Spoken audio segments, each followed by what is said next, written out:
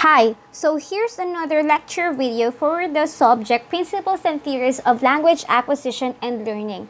So specifically, we're going to talk about the schools of thought in language acquisition and we have the generative linguistics and cognitive psychology. Okay, so of course, we are going to talk about the generative linguistics first.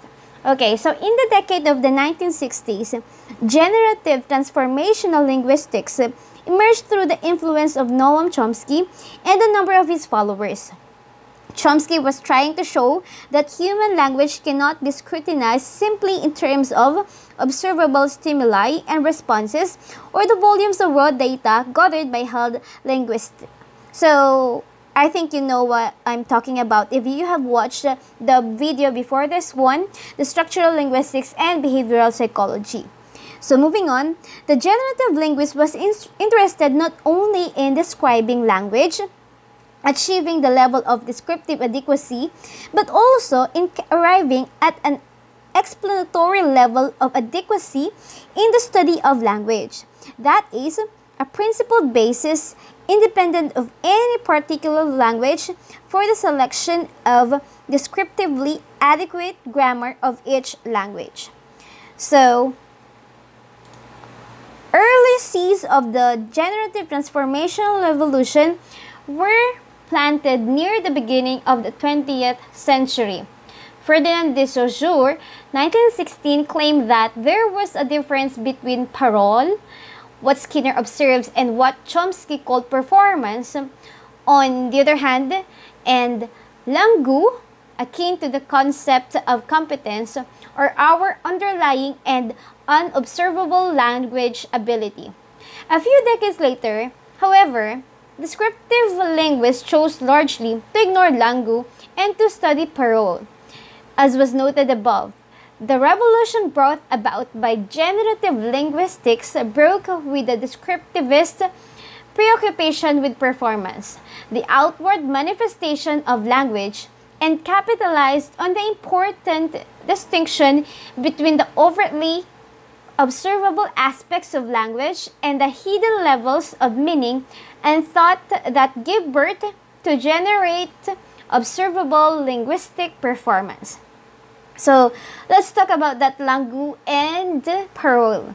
Langue is the concept of any language as a semiological system, a Saussure fact, and a system of linguistic norms. So parole in typical translation means speech, okay? So social, on the other hand intended for it to mean both the written and spoken language as experienced in everyday life. So it is the precise utterances and use of language. So we are talking about the performance and competence of the learner in terms of the second language acquisition. That's for generative linguistics. Okay, so let's have this one, cognitive psychology. Okay, so in other words, this is cognitivism.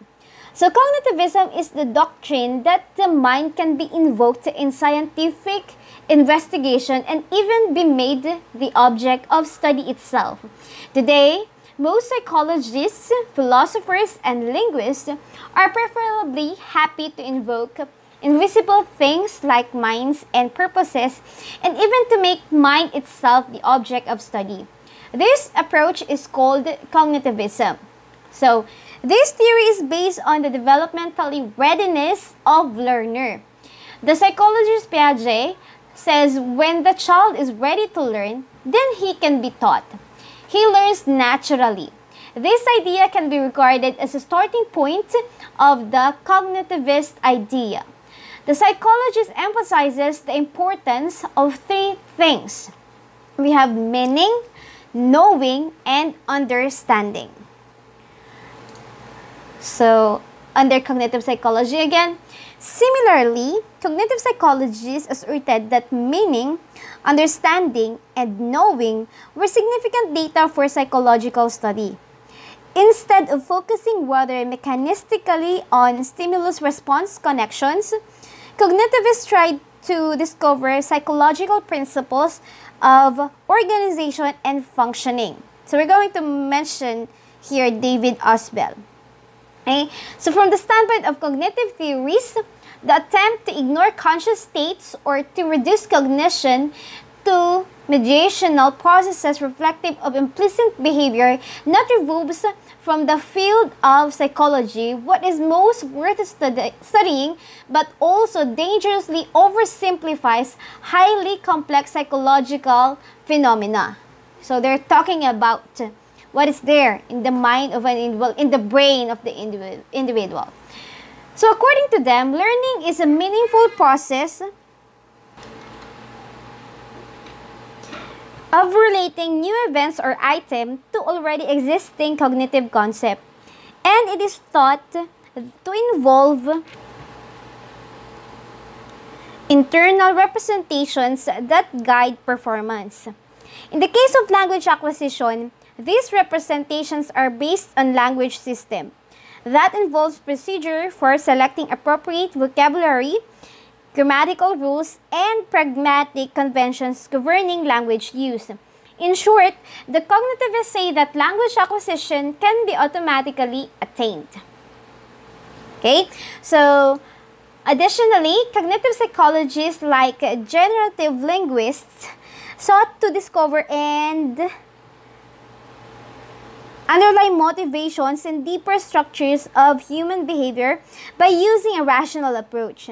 That is, they freed themselves from the strictly empirical study typical of behaviorists and employed the tools of logic, reason, extrapolation, and inference in order to derive explanations for human behavior, going beyond merely descriptive adequacy to explanatory power took on utmost importance.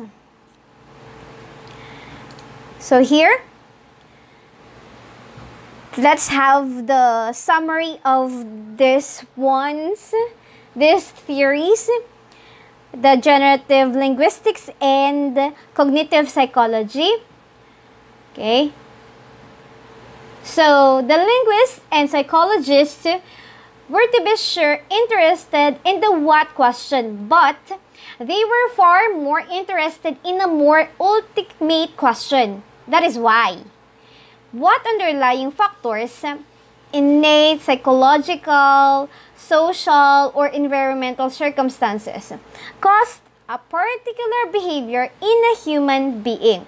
So, in my last video, under the structural linguistic and behavioral psychology, I pointed out one situation in which those theories are involved.